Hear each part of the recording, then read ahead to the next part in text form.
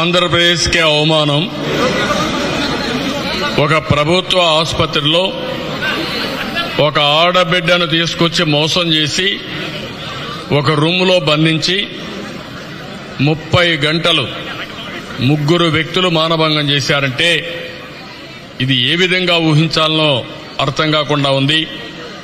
దీన్ని నేను చాలా తీవ్రంగా ఖండిస్తున్నా గర్హిస్తున్నా. ఈ సంఘటన చూసిన తర్వాత ఈ రాష్ట్రంలో ఏ ఆడబిడ్డకైనా రక్షణ ఉందా అని ఈ ప్రభుత్వాన్ని నేను అడుగుతున్నాను. ఇంట్లో ఉండే ఆడబిడ్డ ఆ అమ్మాయి కూడా అమాయకురాలు సరిగా కూడా మాట్లాడలేని పరిస్థితుంది. అది జరిగి తీసుకొచ్చి మోసం చేసి నేరుగా హాస్పిటల్లో ఒక రేమ్- రూములో ఇది పెట్టి ఆ అమ్మాయి చెప్పిన వర్షని చూస్తే తాగి ఆ అమ్మాయి మీద హత్య ప్రయత్నం చేసి అతను పోతూ వేరే బాబురావుకు అప్పచెప్పడం మరుసటి రోజు ఇంకొక అతను ప్రవీణ్ కళ్యాణ్ అని పవన్ కళ్యాణ్ అని అతనికి అప్పచెప్పడం అంటే ముగ్గురు వ్యక్తులు ఒక ముప్పై గంటల అమ్మాయి పైన సామూహిక మానభంగం చేశారు. ఇది ఏ విధంగా అభివర్ణించాలో నాకైతే అర్థం కావడం లేదు. నేను సిగ్గుపడుతున్న ప్రభుత్వానికి సిగ్గుందో లేదో కానీ నాకు తెలియదు కానీ ఒక పౌరుడిగా ఒక ప్రతిపక్ష నాయకుడిగా నేను సిగ్గుపడుతున్నా. ఒకే బాధ ఒకే ఆలో ఆవేదన. ఏ ఆడబిడ్డకైనా ఈ రాష్ట్రంలో రక్షణ ఉందా అని ముఖ్యమంత్రిని అడుగుతున్నా. ముఖ్యమంత్రి ఈరోజు సున్నా వడ్డీ కోసం ప్రకాశం జిల్లాకి వెళ్ళాడు.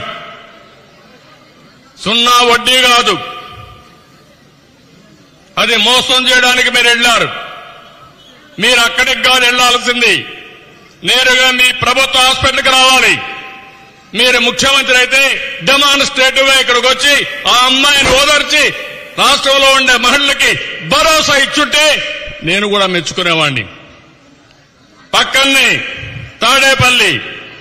ఎక్కడో కాదు. విమానం కూడా అవసరంలా ఇక్కడ జరిగిన సంఘటన ఒక్క నిమిషంలో మీకు తెలిసి ఉండాలి. అలాంటి ముఖ్యమంత్రి బాధ్యత లేకుండా ప్రవర్తించి ఇలాంటి దుర్మార్గుల్ని ఆడబిడ్డల మీదకి పంపించారంటే ఏంటి రాష్ట్రం? ఎక్కడికి పోతోంది రాష్ట్రం? వాళ్ళ తండ్రి పోలీస్ స్టేషన్కి వెళ్ళాడు. కంప్లైంట్ ఇచ్చాడు. నా కూతురు కనపడలేదని చెప్పాడు. ఏం చేశారు మీరు? ఎత్తుక్కోమంటారా తండ్రిని? కడార విధి లేని పరిస్థితిలో తండ్రిని ఎత్తుక్కుంటూ నేరుగా హాస్పిటల్కి పోయారు. హాస్పిటల్కి పోతే ఎంత ఘోరం అంటే బంధువులంతా పోతే కడాన ఒక రూమ్లో తలుపు కొట్టినా కూడా రాకపోతే భయం కూడా లేకపోతే వాళ్ళ సోదరుడు ఒకడు పైకెక్కి పెద్దమ్మ కొడుకు పైకెక్కి చూస్తే బట్టలు లేకుండా వాళ్ళు ఉన్నారని గ్రహించి అప్పుడు అందరూ ముందుకొచ్చి తలుపులు బద్దలు కొట్టుకొని అక్కడికి వెళ్ళారు రూమ్లోకి వెళ్ళారు. అంటే ఇది అవమానం అనిపించలేదు ఈ ప్రభుత్వానికి? పరిపాలించే అర్హత ఈ ప్రభుత్వానికి ఉందా? మీకు సిగ్గుందా? ఈ రాష్ట్రాన్ని తగలబెడతారా మీరు? మేము ఎప్పటి నుంచో చెప్తున్నాం. మీ ప్రవర్తన వల్ల మీరు చేసే పనుల వల్ల సంఘ విద్రోహ శక్తులు రెచ్చిపోతున్నారు. రెచ్చిపోయి ఇష్ట ప్రకారం చేస్తున్నారు. దీనికి మీరు వంతనబాడే పరిస్థితి వచ్చింది. మీకు శీలం యొక్క విలువ తెలియడం లేదు. ఆడబిడ్డల మనోవేదన మీకు తెలియడం లేదు. ఒక నిర్భయ సంఘటన జరిగితే దేశమంతా కూడా మహిళలు కంపించిపోయే పని కలిసి మాట్లాడుకుందాని పోతే కాబోయే భర్త ముందరనే మానభంగం చేస్తే పట్టుకున్నారా మీరు? నేను అడుగుతున్నా. ఇది అసమర్థత ప్రభుత్వం. లేకపోతే ఇలాంటి దగాకోర్లకు అండగా నిలబడ్డారా మీరు చెప్పాల్సిన అవసరం ఉంది. భార్య భర్త పిల్లలు కారులో తిరుపతికి పోతా ఉంటే టీ తాగదామని హోటల్ దగ్గర నిలబెట్టిపోతే ఒక కానిస్టేబుల్ పోయి ఆ కారు తీసుకుని వెళ్ళిపోతాడా? ముఖ్యమంత్రి కాన్వాయ్ కావాలని. ఏమనుకుంటున్నారు మీరు? మీ అహంకారానికి కారణం ఏంటి? అహంకారమా? లేకుంటే ఉన్మాదమా?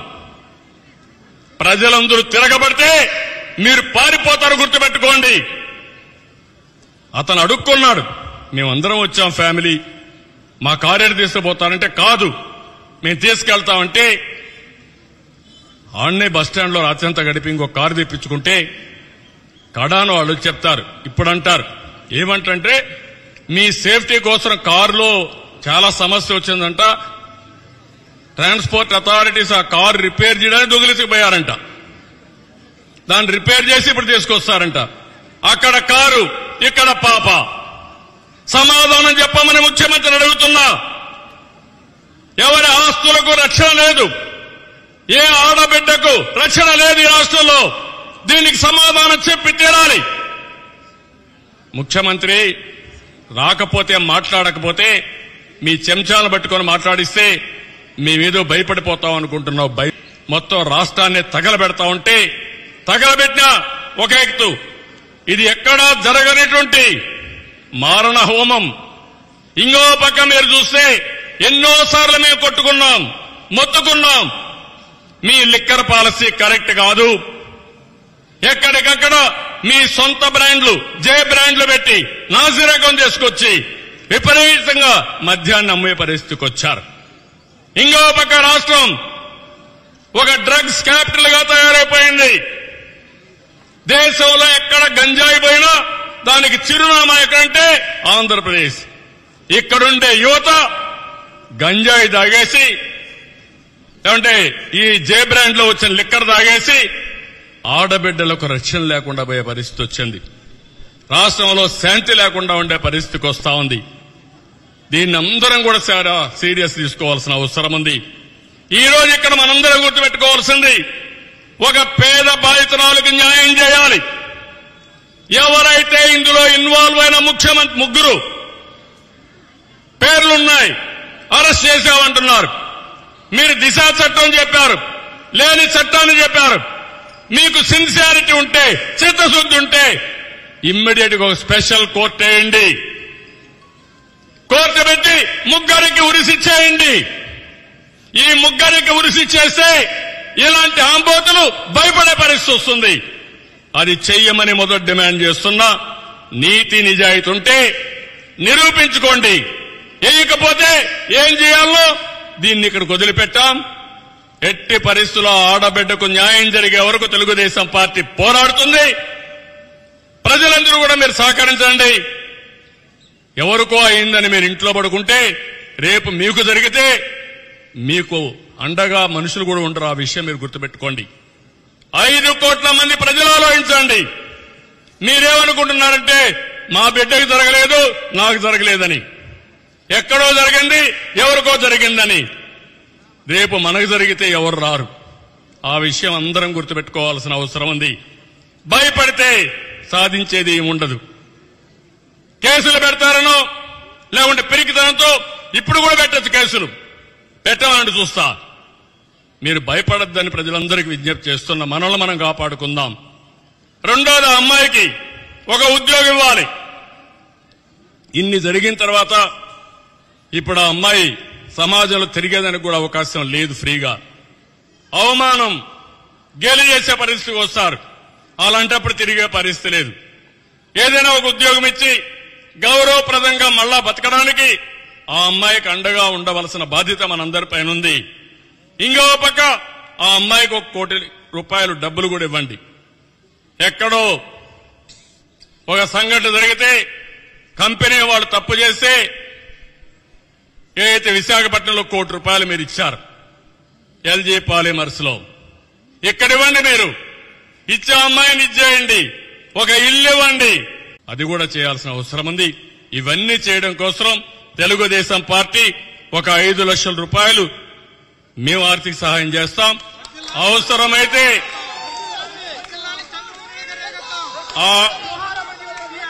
ప్లీజ్. ఆ అమ్మాయికి అండగా ఉంటాం. శిక్ష పడే వరకు అండగా ఉంటాం. ఆ తల్లి తండ్రి ఒకటే కోరుకున్నారు. మాకేం అవసరం లేదు. మాకు డబ్బులు కాదు కావాల్సింది. నా బిడ్డకు జరిగిన అన్యాయం ఇంకొక బిడ్డకు జరగడానికి వీలు లేదు. వాళ్ళ ముగ్గురికి ఉరేపించండి అదే నాకు కావాల్సింది. నా తండ్రి అడిగాడు. ఆ తండ్రి తల్లిని గౌరవిస్తూ నేను మిమ్మల్ని అందరినీ ఒకటి అడుగుతున్నా. అవసరమైతే మనందరం పోరాడాలి. పోరాడి వాళ్ళకు ఉరిశిక్ష వేయించాలి. ఉరిశిక్ష వేయించి వేరే ఆడబిడ్డకు దొరకకుండా మనం అందరం కూడా జాగ్రత్తలు తీసుకోవాల్సిందిగా మరొక్కసారి అందరిని కోరుకుంటూ అందరికీ నమస్కారాలు.